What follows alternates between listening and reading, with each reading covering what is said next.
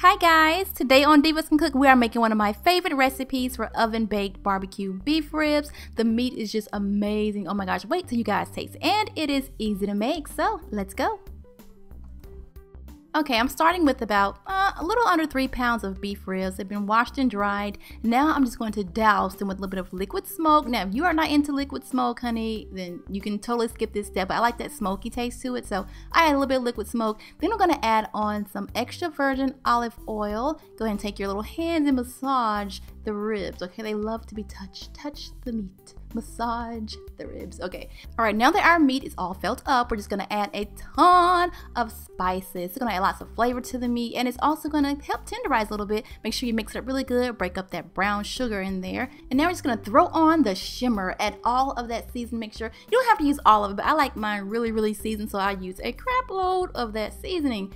Now you're going to add a little bit more olive oil if you need to to kind of help distribute the seasonings. We don't want a whole bunch of dry seasoning sitting on top of this meat. So go ahead and add more olive oil, give it a nice little massage, work in all of those seasonings so they become one with the meat. Next we're going to cover it up. We're going to refrigerate this for about one to two hours. I just said one hour. Then after one hour, go ahead and just place this on a foil lined baking sheet. Make sure you put it in a single layer, okay, just like this. Make sure they have plenty of room. We're going to make a little pouch for these bad boys to cook in. So go ahead and fold your foil up on on the side. Make sure it's nice and tucked in. Then we're gonna add another layer of foil um, on top of it and create like a nice little cute little packet for them to cook in. You don't want any steam escaping, so make sure you do it like really nice and tight because we want to keep it nice and sealed, okay? All right, now we're gonna bake this at 250 super low for about three and a half hours. You can go four hours if you need to, all right? When it comes out and drain off that fat and it'll look just like this, kind of ugly, but that's all right because we're gonna add on our favorite barbecue sauce, just a little bit. You don't need much. I don't like my ribs real saucy.